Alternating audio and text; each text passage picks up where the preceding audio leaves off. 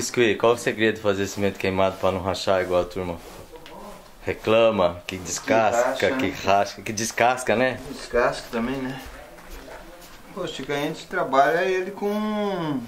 Bom, primeiro o contrapiso tem que estar bem firme, né? É, o contrapiso tem que estar seco. Não pode ter oco, não pode ter, É, né? e tem que estar seco e bem limpo, né? Na hora fazer, Limpo. bem limpo. Aham. Jogar uma água nele, Mas você faz logo, logo que você eh, já desempenou o contrapiso ou como não, que é? não, não. Tem que esperar secar mesmo. É, é, se quiser, dá até pra fazer. Fazer o contrapiso depois de uns dois dias e fazer o cimento É, porque queimado, tem não que problema dar apoio pra você pra não amassar, né? É, o segredo do cimento queimado é uma boa limpeza, né? E depois a gente trabalha com um pouco de bianco também, Chico. Ah, mas antes não tinha bianco, né? Antes não tinha bianco. O bianco dá mais permeabilizada, é bianco isso? ele dá uma impermeabilizada, né? Aham. E daí a gente passa ele antes com pó de, de cimento no chão, Ah, vem com a vassoura. Aí depois vem com a massa bem seca, né? E aí a gente não trabalha com a lama, a gente trabalha com pó também, né? Ah, você trabalha com jogando pó. é, Ah. pó e o segredo também é você, depois que você jogar o pó, não ficar molhando muito. Porque se você ficar molhando muito, o que, que acontece? Ele começa a criar aquelas bolinhas. Verdade, eu já E fiz a partir assim. daquelas bolinhas que começa a trincar o Trincar, cimento. é. E esse aí você fez ontem? Esse que a gente fez ontem. E agora você tá da- acabando É, com as rebarbinhas, e né? Agora a gente tá dando uma olhada nele. Tá. Com bianco também, né? E daí você vem passando bianco, um pouquinho de xadrez. Então mais bianco ainda. É, é, quanto o bianco ele é bom que não permeabiliza bem, né? É. É permeabilizante e a vantagem do bianco é que ele penetra dentro da, da massa, né? Certo, você falou, é. com a massa seca, ele penetra dentro, então ele vitrifica legal.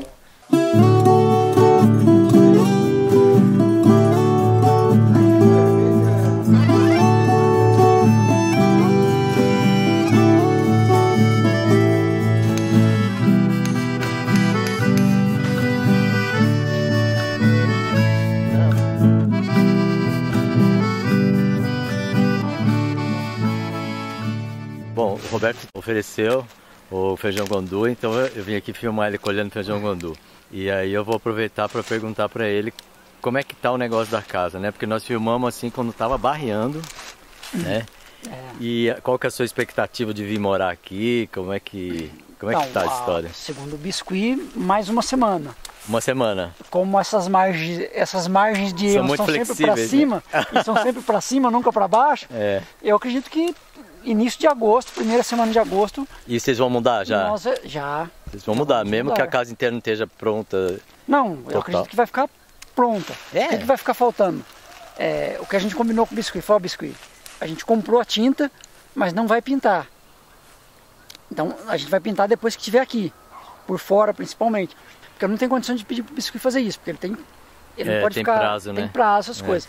E eu falei, não, então você pode ficar tranquilo que a gente pinta a casa depois. Pode ficar. Então vocês vão pintar vocês mesmo depois. Aí a gente mesmo pinta. É, não- Por fora, né? por Porque fora. por dentro vai deixar o. Por dentro vai deixar no cal. Isso, é, Então, pra, res- como tem. respirar, né, É. a parede, é. Aí como tem, como ainda tá nos finalmente, ainda de repente você quebra uma parede ali, você dá uma sujadinha, depois que tiver tudo pronto, se for o caso. Isso é. Aí assim, a gente já tá passado o cal. Então, mas aí a gente dá mais uma mão em algum lugar que ficou alguma falhinha, alguma coisa assim, no, que nem você viu, mexeu ali, depois tem- ainda tem instalação elétrica para fazer. Ô Roberto, o pessoal é, ficou muito ligado naquela coisa que você falou, que o preço da construção de, dessa com terra, né, ia sair uns 60% do valor Em da relação- convencional, né? Isso. E aí, então vamos falar para eles que você disse que quando tiver terminada a casa, aí você vai botar isso na ponta do lápis e falar pro povo, né? Isso, vou, porque eu tenho tudo lá. Mas tá, tá mantendo uma, uma, uma coisa de ser mais barato mesmo. Mais barato. Sim, mais barato, É. com certeza. Só que você não pode dar a precisão agora. ah não, né? ainda não dá, porque eu não- confesso que está meio corrido, Aham, e, mas eu tenho, estou guardando tudo lá, os, a- as notinhas com os gastos que a gente está tendo. Então vai ser, vou precisar de uma hora sentar e fazer o cálculo, Botar no, no papel mesmo, no É, um lápis cal- papel. um cálculo aproximado da, da alvenaria para poder fazer a comparação, né? Ô Roberto, o povo tá. Muita gente vem me pedir assim, contato do biscuit para ele construir. Eu tô falando que o biscuit não tá tendo tempo, né? Você nunca pensou de você trabalhar com isso? Hum, Não, Não, não, não te atrai. Meu Você quer mexer com a meu terra? negócio é isso aqui, é terra. Legal. Não, esse tipo de coisa não, não me atrai não. Aham. É, diferente do Chico Abelha, eu sou, nós queremos criar raiz. é, De cabelo quer é, cair fora. é, aquela coisa é, que a gente falou no, lá no, no- no primeiro vídeo, né? É. Nós temos isso aqui como estágio, como algo passageiro. Inclusive o Biscuit já tem arrumado clientes, entre aspas, né? As pessoas que estão que estão interessadas. O que está acontecendo? Tem muita gente procurando biscuit. Olha, biscuit, queria comprar uma chácara, queria comprar uma, pra você fazer uma Isso, casa. é. Aí a gente falou, né, chamou biscuit a Kit, falou a Kit. Principalmente a Kit, né, que era a que toma conta do É a telefone. esposa do biscoito. é. Isso. Aparecer alguém que está realmente interessado, a chácara está aqui. Está à venda, vamos dizer assim. Para essas pessoas, não estou anunciando, não tem. Não, mas na- tem terreno aqui em volta, é isso? Não, não, a, a nossa chácara. Ah, vocês... ah, Então, já tem, tem duas pessoas que já vieram ver com real interesse. Peraí, então você não tem o apego de querer ficar morando aqui? Não, aqui não, nesse local não. Esse Ah. local para nós sempre foi Um- um, um estágio. estágio. Desde quando a gente comprou. Que pode inclusive. ser um estágio de alguns meses ou de, de, alguns ou anos. de nem vir para cá. Uh! É, Então tem gente talvez interessada em comprar aqui. Antes de ontem veio uma, uma moça que está alugando uma. Ela mora de é inquilina do Biscuit. Aham. Ela tem tá com um apartamento à venda, gostou, demonstrou interesse. E tem uma senhora de São Paulo também, que a gente já conversou bastante. Ela tá para vir aqui por esses dias. Ela até, a princípio, viria no sábado, mas até perguntou se poderia vir no meio de semana. Aham. Ela está bastante interessada, filho. Pode Tudo vir. bem, não tem um apego. Não, nenhum, nenhum. Nós legal. estamos fazendo com carinho, como se fosse para nós. Não é porque ah, olha, tem alguém interessado, não. Não. estou fazendo. Segue no mesmo ritmo. Que pode ser que concretize o negócio ou não. Pode ser que a gente fique aqui um mês, dois, três, a gente não sabe. Mas, inclusive, estamos vindo final de semana, cuidar da agrofloresta, que a gente não. Claro, no meio de é. semana, de segunda a quinta, que o biscoito está aí. A gente não tem tempo para isso. Então a gente vem Aham. sexta, sábado, dá uma organizada nas coisas. Na, na parte da, assim- da agrofloresta. A, Son- a Sônia mesmo, que é a, a mulher de São Paulo, ela não tinha visto o vídeo ainda. Ah, não? Não. Ah. Mandei o link do vídeo. E como que ela ficou interessada sem ver o vídeo? É, eu não Ah, sei. porque ela estava procurando um É, espaço. estava procurando Ah, isso. tá. É. Ela não tinha visto o nosso vídeo especificamente, Sim, sim. o nosso. Aí quando ela viu, Aí ela... quando ela viu o vídeo, ela me mandou um áudio. Falei, não acredito que vocês estão com- de- dedicando tanto carinho, tanto amor, o negócio está à venda. Falei para ela, Sônia, eu vou ficar imensamente feliz se eu conseguir passar isso aqui para alguém que tem o mesmo pensamento Isso, eu também. nosso. Isso que eu penso. Tem que... Serve para é você? mesmo- É isso que você está procurando? Então- Para você se fixar aqui? Maravilha, eu vou muito contente em passar para uma pessoa que tenha, que vai agradar a pessoa, que vai ser feito, que tenha esse mesmo pensamento que a gente. Para nós, serve momentaneamente. Porque quando a gente comprou aqui, para sair da cidade era o que, Era o que deu, é o né? que- foi o que deu no Vocês momento. querem um lugar mais... Exatamente. Eu quero um, um lugar Mais mais, afastado. reservado, mais afastado e um lugar maior. Hoje, por exemplo, se a gente fosse se fixar aqui, eu teria que criar galinha confinada praticamente. Eu não quero isso. Aqui eu não sei se daria para ter porco, talvez um ou dois confinado, É, é, num espaço Então muito você quer pequeno. largueza, Eu quero né? lar... exatamente. Então assim, o pessoal da roça. então nós vamos lá para um concretizando um negócio aqui, aparecendo alguém interessado, nós vamos já vamos dar o próximo passo, sem Uhum. sem sem nenhum constrangimento. que assim. legal, né? sem nada. Sem nenhuma dó de Assim, largar, né? Importante, uma coisa que eu acho fundamental nesse sentido. Eu e a Elisângela pensamos exatamente no mesmo Isso é maravilhoso. na mesma né? direção. É uma coisa que nós estamos fazendo de comum acordo e eu acho que isso ajuda muito as coisas a fluírem. Com certeza. É não ter nenhuma Sinergia. sinergia É. entre marido e mulher. Acho que é- isso é fundamental para as coisas Sim, funcionarem. senhor. Deixa eu só Roberto, trocar a sacola aqui. é isso aí que eu te perguntar, viu? Agora vamos acompanhar o biscuit montando o fogão lá, que a serpentina já deu bem trabalho, né? É, a serpentina está dando mais trabalho que, Do que do que imaginado. Mas o biscuit é, Sempre dá um nesse jeito. aspecto é tranquilo. Isso dá um jeito. A gente faz, improvisa. é, Legal. Ô, ô, ô, Roberto, você tá colhendo feijão. E como é que você faz o feijão guandu? Você costuma fazer? Ou é conforme a fome, assim, na hora? Não, esse aqui, como a gente Cozinha. faz mais o verde, porque é mais prático. Esse aqui, esse mais verde aqui é 20 Mais minutos. rápido para cozinhar. É 20 minutos em cozimento, 20 minutos em- É. sem ser panela de pressão, que a gente não usa, né? Na Sim. panela aberta mesmo, na panela de. É. No caso, Não 20 precisa nem de minutos, pressão, é. Ele já tá bom, então assim, não precisa pôr de molho, não exige molho, né? Uhum. Diferente do feijão seco, não precisa pôr de molho. É mais prático. E eu acho que esse é mais digestivo que um feijão, com, Mais digestivo, né? é. Muito mais, né? É. Então é melhor comer ele assim. A Aham. gente não tá dando conta, mas vai, vai, vai secar um tanto, não tem jeito. Mas Ué, mas aí a gente ele... come assim mesmo. É. mas é, é gostoso comer ele aqui. Ele verdinho é até mais gostoso. Também acho. É. Então tá bom. É isso aí, Roberto. Obrigado. E, ó, e boa sorte nos seus Opa. propósitos. Isso. Estamos aí.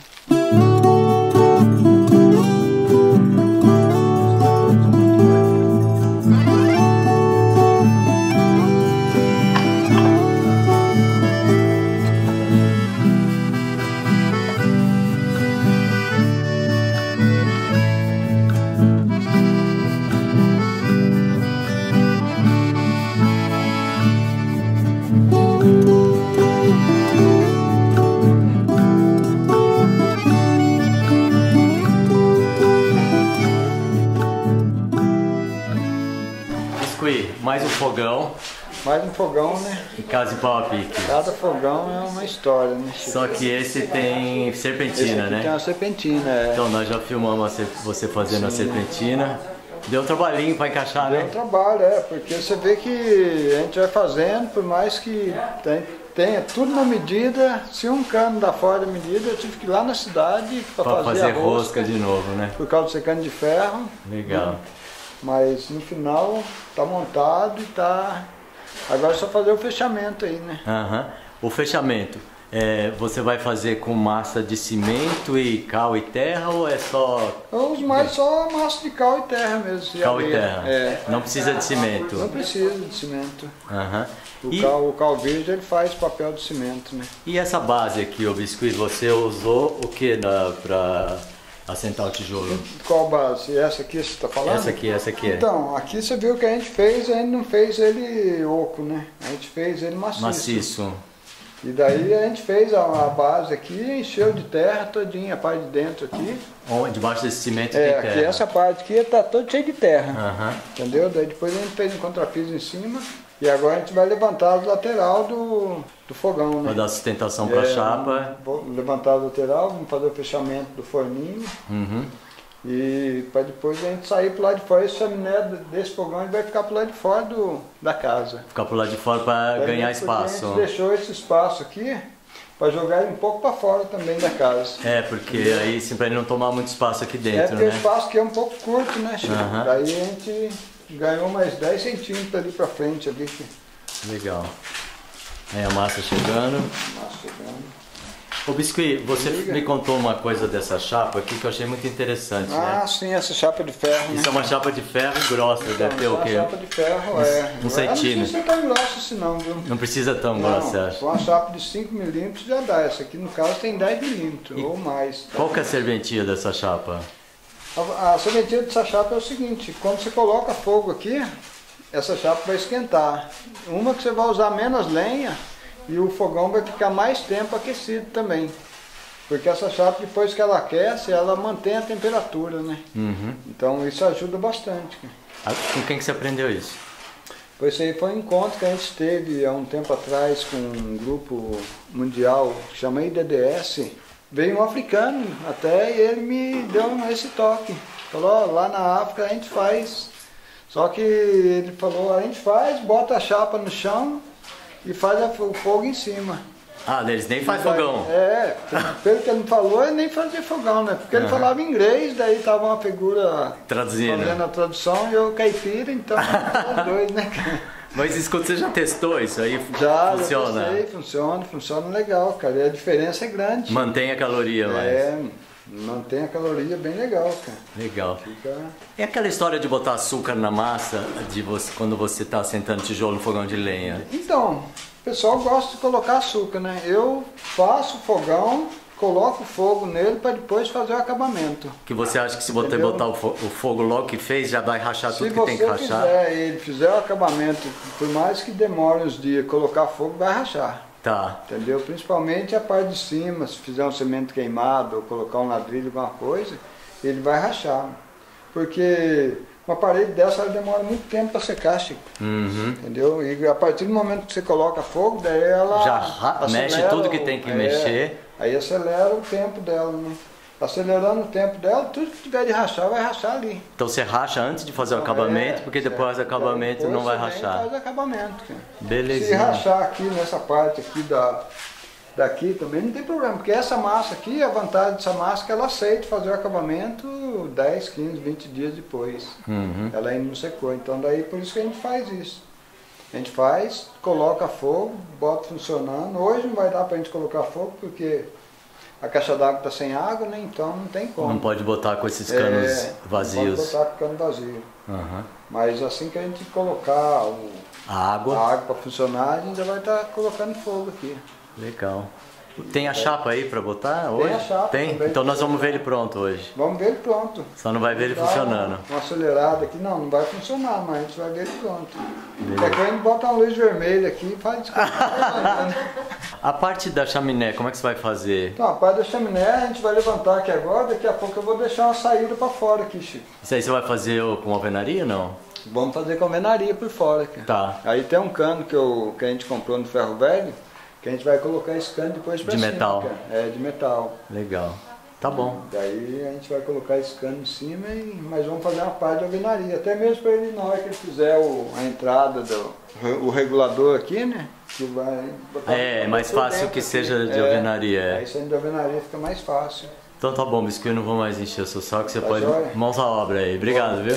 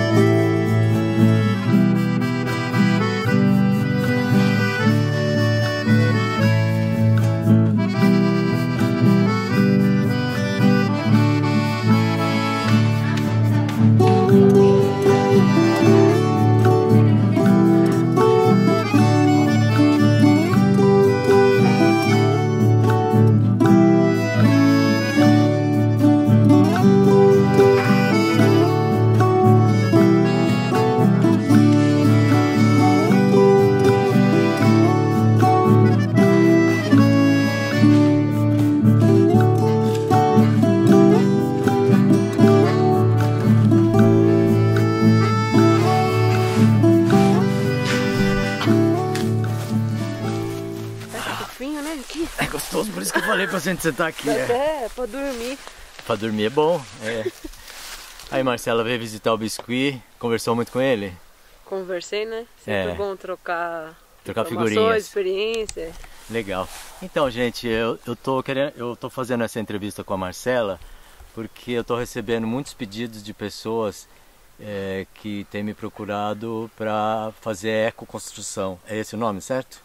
É, eu chamo de ecoconstrução, tem vários nomes. Bioconstrução, Uhum. construção natural. Mas elas são todas a mesma coisa, é, É. isso? No fundo, Ok, então eu tinha esquecido que a Marcela também faz né, projetos e acompanha a obra até o final, né? sim. Então eu queria que a Marcela falasse o, o que, que você pode oferecer como serviço, porque então eu vou começar a indicar você ou vou falar desse vídeo, falar assiste o vídeo lá que tem a Marcela falando o que, que ela faz, né?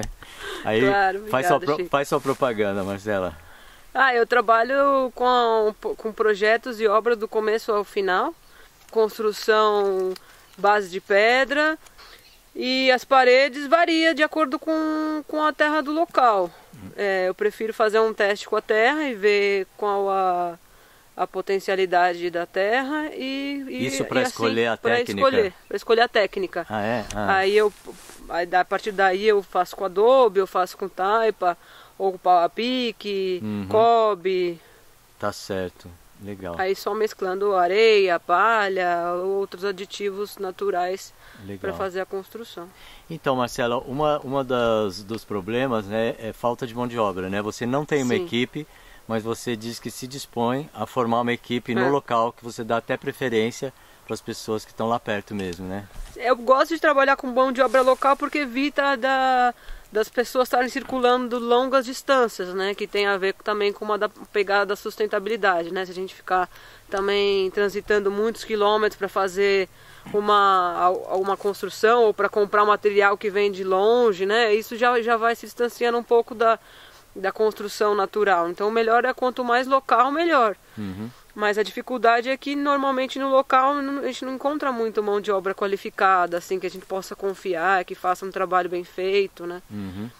Mas eu dou preferência para mão de obra local, com certeza. Aí Até você- ajuda a economia local, que muitas das cidades também são pequenas, então essas pessoas às vezes não têm trabalho ou, ou tá sempre flutuando, né? Aham. Então também gosto bastante disso. Legal. E a parte legal, você mexe com isso também, não? De aprovação de planta e depois habite, essas coisas? Sim, faço completo. Também faz Mas é tudo. tudo se- parte se- separado, né? Sim, são.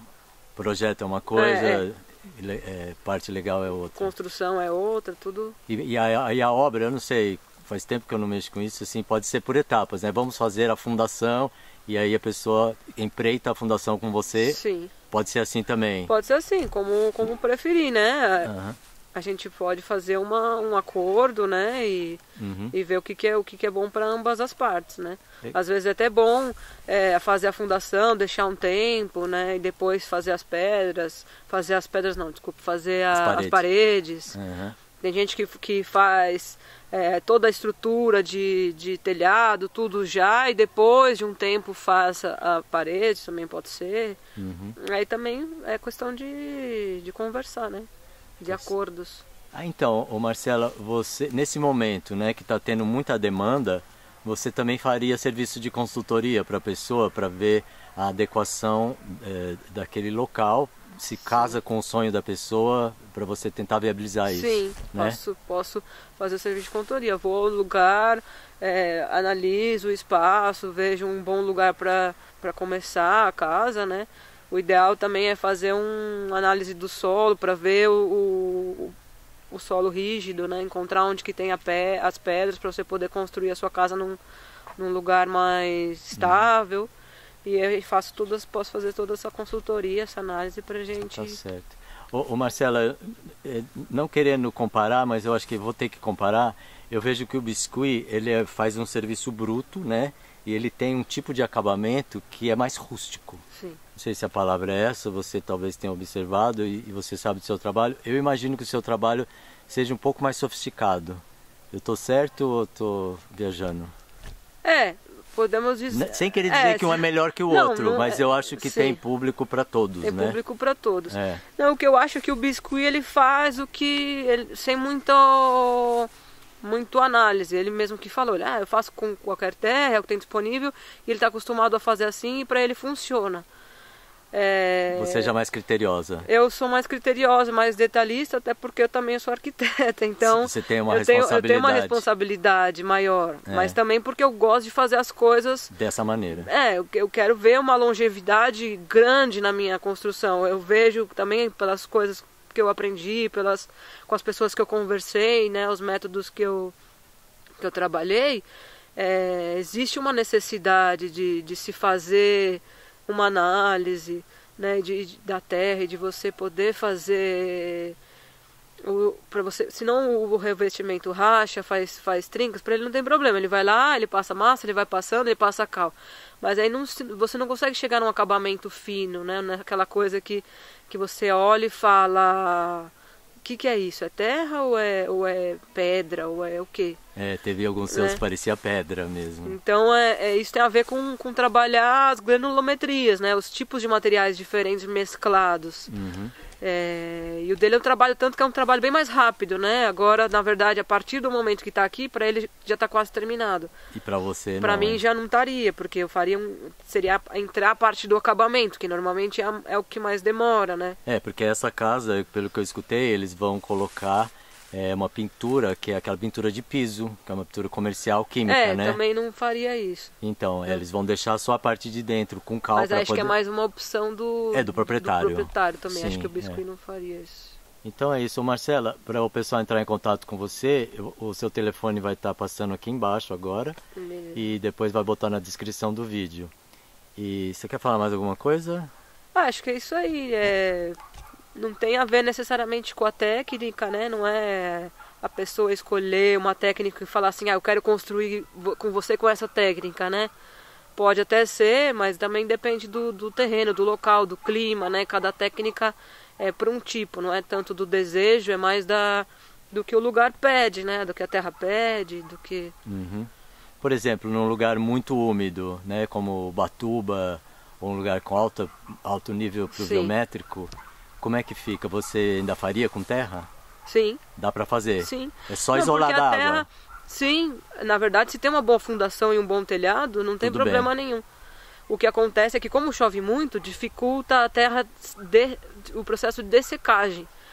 Então, poderia ser feito, por exemplo, é, como aqui, né? Faz um telhado e, e faz um pau a pique, secos, ou trabalha nos meses secos, né? É por exemplo, se for fazer um cobre, tem gente que, que opta por fazer o, o telhado primeiro e cobrir, mas aí você está fazendo uma, super, uma, uma estrutura onde não é necessário, mas também tem um lado bom que você consegue avançar com a obra é. e fazer, cobrir ao mesmo tempo que está fazendo. Uhum. Enfim, é tudo questão de orçamento e de planejamento, e né? de pressa da E pessoa. de pressa, também é. a pressa fica mais caro, acaba ficando mais caro é. o, o projeto, né? A execução também. Legal. Marcela, obrigado. Aí, Boa sorte para você. Valeu.